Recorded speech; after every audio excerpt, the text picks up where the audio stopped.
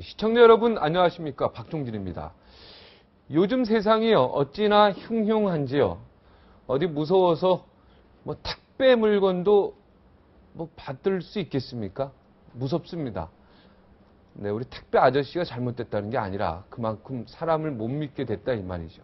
한밤에 시켜 먹던 야식, 네, 뭐 켄터키 치킨이든 뭐든 이젠 함부로 시키는 것도 겁납니다. 집 앞에서 아이 유치원 보낼 때도 꼭꼭 현관문 걸어 잠그고 나가야 합니다. 다 큰 딸내미 어디 갔다 밤늦게 들어온다고 하면은 마중 나가야 합니다. 최근 발생한 성폭행 범죄들에 대한 이야기입니다.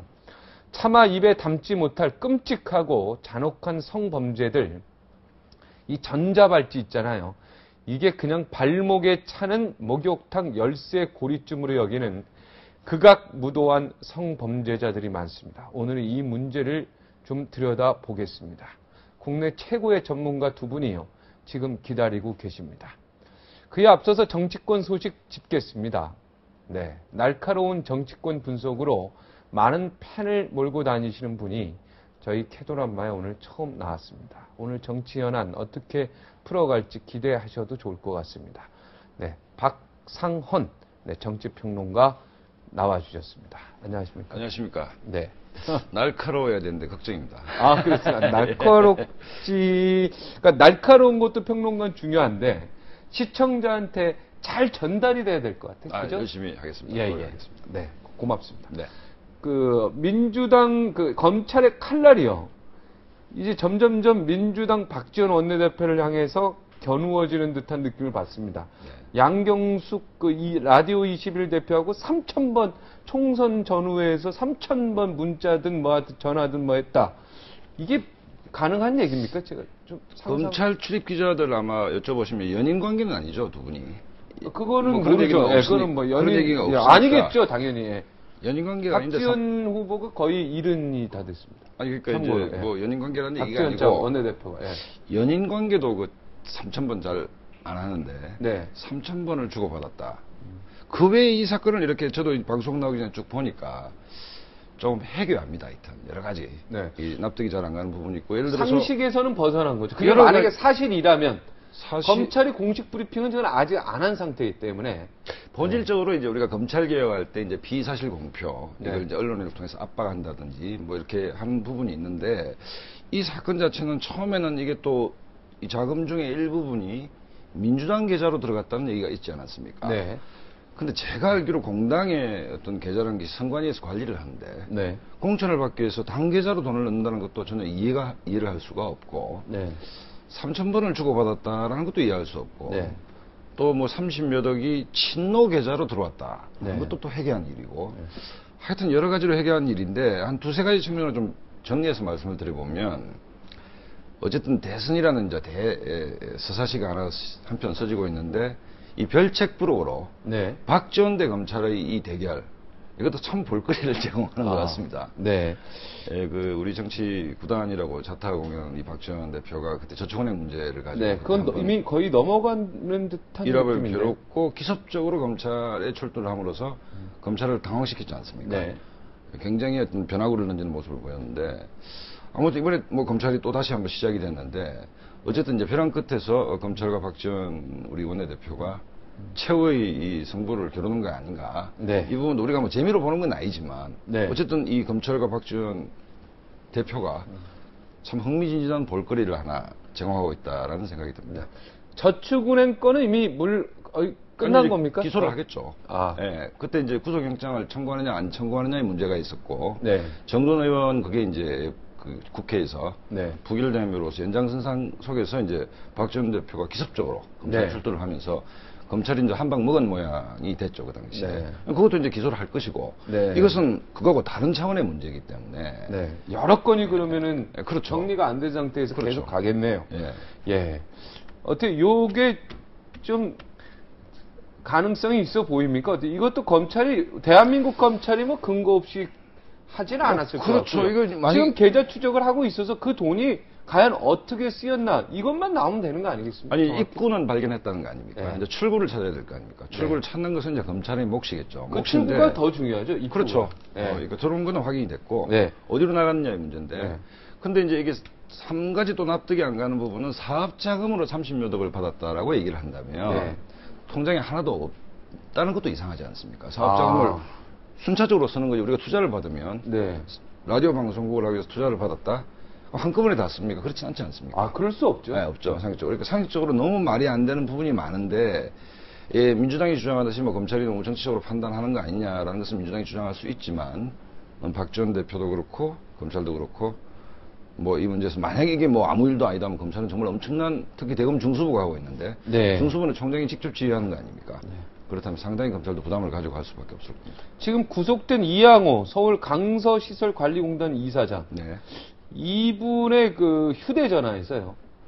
박지원 원내대표의 그 발신자로 된 내용의 공천 비례대표 공천에 도움을 주겠다 이런 내용이 발각이 나- 나와서 네. 지금 이게 난리인데 박지원 그 대표 측에서는 공천 인사에 도움을 주겠다는 문자는 사실 무근이다. 뭐 문자 메시지가 명의 도용을 당했다. 뭐 이렇게 하는데 어떻게 보십니까 이거? 앵커께 다시 여쭤보시면 문자 메시지가 명의도용을 당했다는 게 무슨 뜻입니까?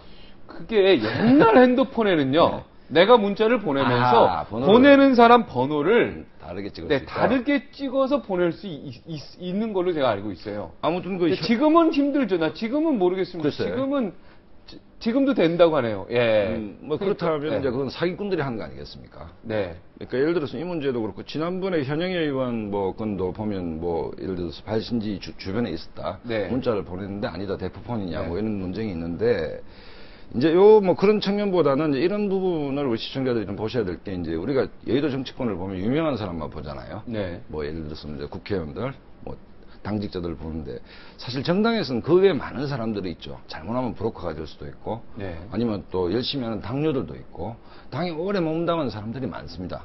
그런 분들이 이제 영향력이 있는 분도 있고 없는 분도 있는데 이제 공천 때가 되면 뭐라도 잡아야 되니까 뭐 이런 양반들이 이제 예, 안 좋은 마음을 먹고 이제 뭐 나쁜 짓을 할 수는 있겠죠. 그러니까 이당 주변에 흔히 있을 수 있는 일인데 아무튼 이 사건은 지금까지만 보면 여러 가지로 참 비상식적이고 해결한 일이 좀 많은 것 같습니다. 네. 예. 아, 이게 지금 뭐 사실 문제가 된 거니까 이렇게 나온 거고요. 네. 그렇다면 문제가 안 된, 지금 문제가 수면에 이건 들어 오- 오- 나온 거고, 수면에 나온, 거. 수면에 지금 숨겨져 있는 그러한 공천의 지금 여러 가지 문제점들도 많이 있겠죠. 없다고 볼 수는 없겠죠. 네, 그죠? 지금 발칵이 모르는데. 되지 않은 거. 어쨌든 발각되지 않은 어쨌든 새누리당 경선 전에 예, 현영애 의원 비례대표 공천권이 안 터졌습니까? 조기문을 통해 3억이 갔고 네. 그건 입구는 있는데 뭐 출구가 없는 네. 또 안줬도 안 받았다 지금 이제 공방을 하고 있는데 이건 10배로 터졌잖아요. 일단 민주당은 일단 뭐 개인 브로커에 의한 장난이고 당하고는 무관하다고 얘기를 하고 있지만 아무튼 그 박근혜 후보가 어, 컨벤션 효과를 별로 누리지 못할 것이다. 그 다음에 뭐 민주당에서 추대식을 했다 라고 비판을 했는데 민주당은 제주경선부터 엉망진창이 됐고 그 다음에 울산경선에는 다 후보들이 참여를 안 한 상태에서 이게 터졌지 않습니까? 네. 이게 터질 때 국민들이 과연 이게 당하고 아무 관계 없이 이 뭐 그냥 이 양무 이- 이분 혼자 또 몇 명이 저지른 일이라고 과연 누가 생각하겠습니까? 민주당 입장에서는 갈수록 대상입니다, 진짜. 점입 가경의 장면으로 좀 가고 있는 것 같습니다. 거기다가 지금 민주당 그 뭐 모바일 투표부터 시작해서 지금 현재 그 대선 후보들 경선하는 거 이것도 지금 그렇게 막 어, 생각보다는요 국민들의 관심을 끌지 못하고 있어요. 200만 명 목표로 했고 지난번 저 이해찬 지금 대표하고 김한길 저 최고위원 할 때도 200만이 넘었죠. 넘었는데 지금 뭐 200만 원 그냥 150만 원이 되느냐 안 되느냐 문제. 이제 흥행은 그냥 그러니까 감동과 흥행이란 두 마리 토끼를 잡아야 되는데 제가 몇 번 얘기했을 때 이 문제가 리스크가 있는 것이 박근혜 후보가 전태일 열사 기념관을 갔을 때 진정성 문제를 했는데 네. 국민의 집단지성이라는 것은 진정성을 갖고 할 때 감동이 오는 것이지 감동이 와야 흥행이 되는 것이지 흥행 강박증에 걸려가지고 하여튼 흥행이 될 만한 모든 아이템을 다 끌어넣어서 한다. 그 모바일 문제도 사실은 그 여러 가지 문제가 제기된 최장직 교수님도 하신 말씀이 이 대표성이 있느냐 과연 5, 60대 잘 못하는 사람 은 어떻게 하는가 네. 아니면 특정 세력 그러니까 낙곰수라든지 미건수라든지 100만 밀리언 소위 친노로 표현되는 수십만 명이 의 그 당 주도권에 절대적으로 유리한 제도다라는 출발부터의 의구심이 있었던 것이죠. 그러니까 그 친노 진영 내지 어떤 그런 부분에 대해서 비, 이 비문 진영이 출발부터 의심을 하고 있는 차제에 제주 경선이 여유 있게 나오니까 이 문제가 터져버린 겁니다.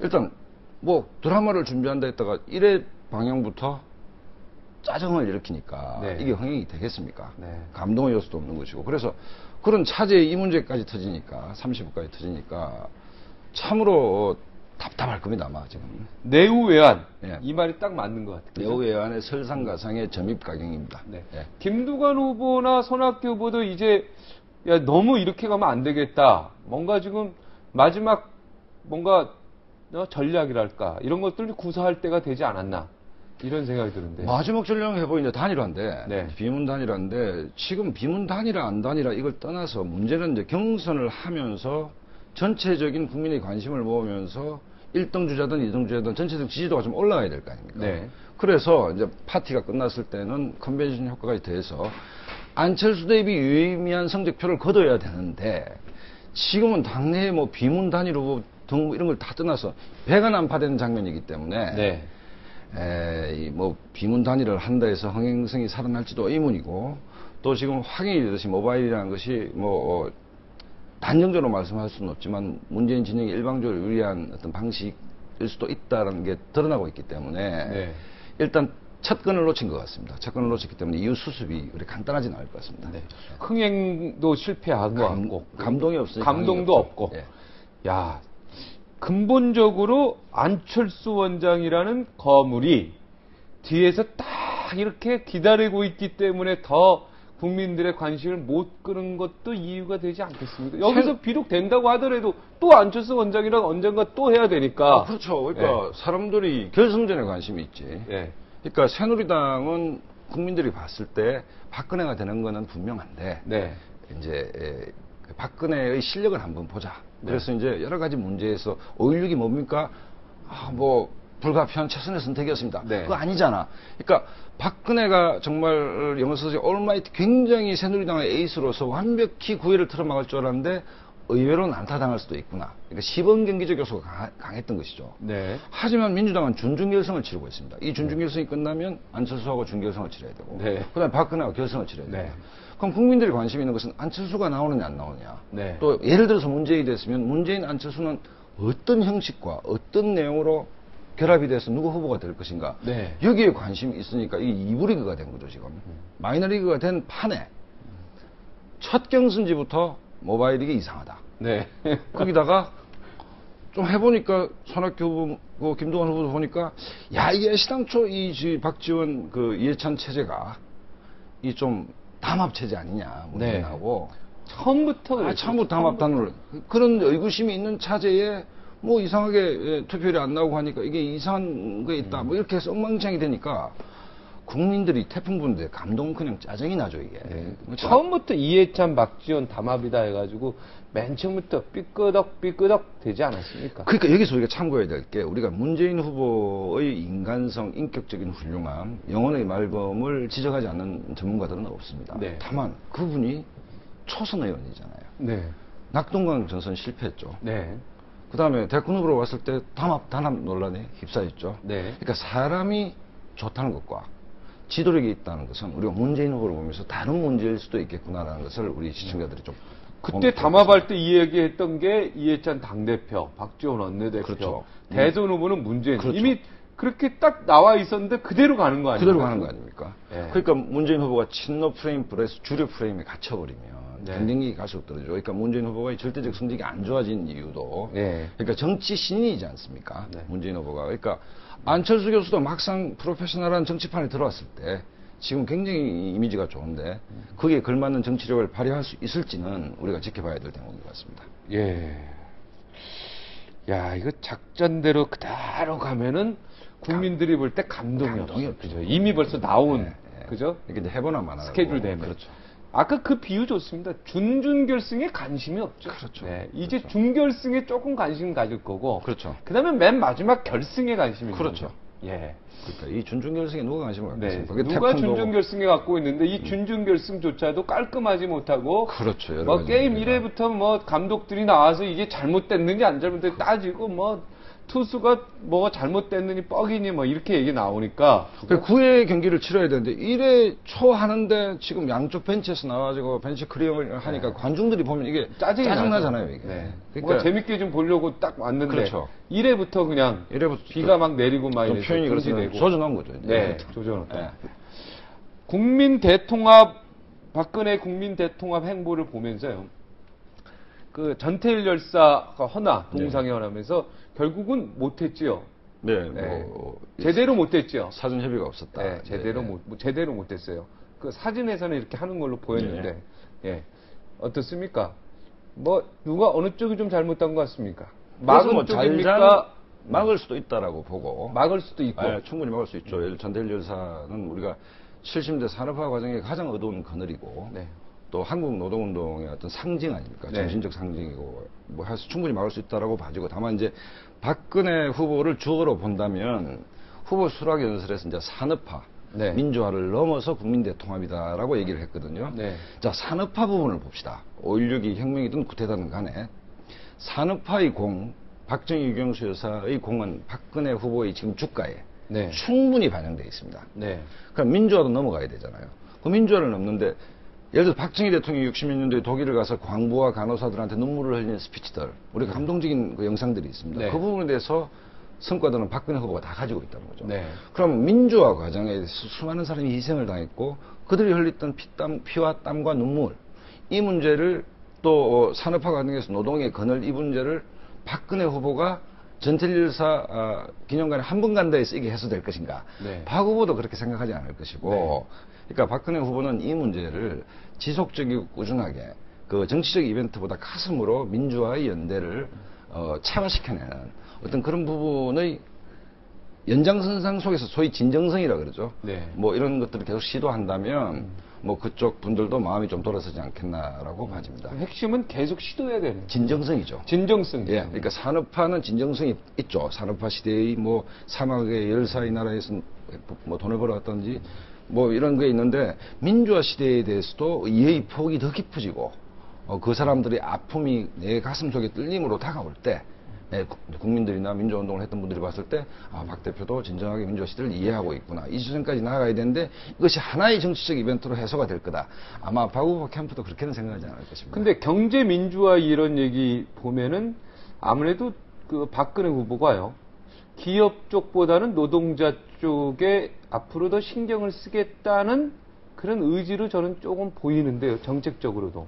그렇죠. 지금 이번 이제 선거 이후에 인사의 핵심이라는 것이 이제 119조 2항을 만들었다고 하는 김정인 국민행복주의위원장, 그 다음에 이제 뭐 현역의 의원권이 터졌기 때문에 당내의 정치 세신은 국민검사로 한때 사랑받았던 안대희, 안대희. 대법관이 네. 투톱 아닙니까? 네. 국민들이 보일 때. 핵심이죠, 그 부분. 이 문제는 이제 박근혜 후보가 경선 과정에서 여러 가지 시달리면서 결심을 한 게 뭔가 하면 중원으로 가겠다. 네. 어, 중원으로 갈 수밖에 없고.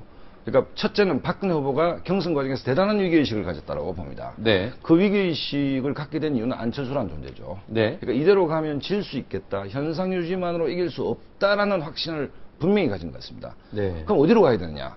중원으로 달려가야죠. 중원이라는 것은 뭔가 하면 양극화 해소라든지 재벌의 폐해라든지 소위 그 경제 민주화로 이름 지어지는 네. 음, 부분. 그 다음에 국민들이 여의도 정치에서 염증을 느끼는 정치 부분에서 대대적인 쇄신을 할 수 있는 음, 능력과 이미지를 갖고 있는 사람. 그러니까 거침없이 무수의 뿔처럼 중원으로 달려갈 거라고 저는 약간 확신을 합니다. 네. 무수의 뿔처럼 혼자서 중원으로. 묵묵히 중원으로 갈 네. 거다. 앞으로도 이제 전태일 열사 이번에 하나뿐만 아니라 이와 관련된 광주 그 5.18 네, 묘역. 유족 예, 묘 네. 예, 그런데도 가고요. 예. 네. 여러 곳에서 그런 흔적들을 진정성을 보이는 노력. 그렇죠. 이런 것들이 아주 중요하고 쌍용차 그 분향소부터 먼저 갔다 와라. 그 분명히 전태일 열사 유족이 얘기하지 않았습니까? 예. 어떻게 보십니까? 뭐 하여튼 그 포함해서 산업화의 권열에서 유신 문제, 또 장준하 뭐 선생 진상조사위 문제, 네. 또뭐 여러 가지가 아니었습니까? 여러 가지 문제를 아까 말씀드렸듯이 뭐 어떤 정치 스케줄상 하나의 이벤트로 처음에는 박근혜를 싫어하는 진영 아니면 산업화의 그늘에서 힘들었던 분들한테는 진정성이 없어 보이겠죠. 네. 하지만 이것이 반복될수록 그 울림이 있지 않겠나 싶습니다. 어쨌든 박근혜 후보는 내가 어디로 갈 것이라는 것은 최근 한 열흘간에 분명히 보여줬다라고 어, 저는 봅니다. 네, 박근혜 후보가 네, 좀 더 전투적으로, 그죠? 전투력 있게 진정성을 가지고. 진정성을 가지고. 예, 꾸준히.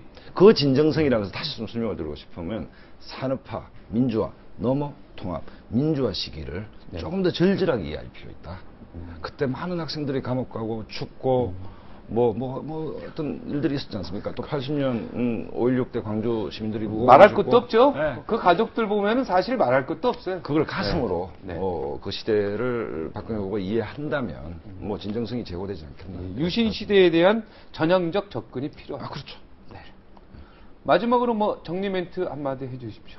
오늘 못하신 얘기나. 그 이제 우리가 박지원 대표하고 검찰 얘기가 이제 이 잊어버릴 만하면 나오고 네. 나오는데 대선 전국에서 검찰이 뉴스의 중심에 나온다. 네. 이게 정치적 구준성을 표현하는 한 단면입니다. 네. 검찰이 왜 대선의 변수가 됩니까? 그래서 아무튼 이런 뭐 이 민주당권도 검찰이 빨리빨리 수사를 해서 빨리빨리 정리를 해서 정치를 적 오해를 안 받았으면 좋겠고 네. 또 대한민국의 자랑스러운 검찰로 좀 거듭나 뭐 거듭나는 계기가 됐으면 좋겠고 네. 하여튼 검찰이 정치적 공방이 휩쓸리게 되고 대선 전국에서 주요한 변수로 떠오른다는 것은 전혀 바람직하지 않다. 그거는 정치적 후진국에서는 볼 수 있는. 네. 그렇죠. 그리고 박지원 원내대표도 어떻게 보면 대선 후보도 아니잖아요. 아닌데 이제 박준호 후보는 현재 지금 원내대표라는 것은 등기부상의 민주당의 대표 아닙니까? 네. 교섭단체 대표인데 정치적 영향이 엄청난 것이죠. 엄청난데 최근엔 말씀을 많이 좀 줄이고 계십니다만은 어쨌든 참 이것도 어떻게 보면 재밌는 일인데 검찰과 네. 박지원의 대결도 근데 좀 가치론적인 바- 차원에서 봤을 때는 네. 별로 보기 좋은 일은 별책 부록으로 봐야 되겠네요. 아 별책 부록 재밌습니다 네, 이거 네. 검찰과 대선 후보의 게임하고 별책 부록 전혀 관계없는 별책 부록. 아 별책 부록인데 이게 또 영향을 미치죠. 영향을 조금 아, 미치는. 미치는. 아, 하여튼 이런 대선 후보에는 검찰이 이렇게 언론에서 중심에 이렇게 나오는 건 바람직하죠. 그렇죠. 뭐 1년 치르는 것도 아니고 불과 한 4개월 남겨두고 있는데, 네. 뭐 지난번 MB대 그 박, 그 MB대 정동영 의원의 그, 그때도 BBK 때문에 검찰의 입에 네. 그 정치권이 목을 매는 게 있는데 그게 바람직하지는 않죠. 그러니까 이런 정치적인 문제들을 검찰이 좀 더 노력해서 네. 빨리 좀 정리를 해주고 어, 정치를 할 수 있게끔. 검찰이 이제 성폭행범이라든가 묻지마 범죄 이런 것좀 정리 좀 잘해줬으면 좋겠어요. 아, 그건 민생 문제니까. 아, 그러니까 이런 거, 아. 이런 것 네. 때문에 세상, 저희 대한민국 살기 싫다고 지금 고민하는 사람들 많습니다. 그러니까 이제 어떤 후보가 되면 대한민국을 떠나야겠다. 이건 좋은 나라가 아니죠. 네. 그러니까 어, 근데 이제 이뭐 이런 민생 문제나 네. 예, 국민 안전 문제는 네, 이제 잠시 후에 성폭행 이야기를 좀 해보도록 하겠습니다. 오늘 나와주셔서 대단히 고맙습니다. 감사합니다.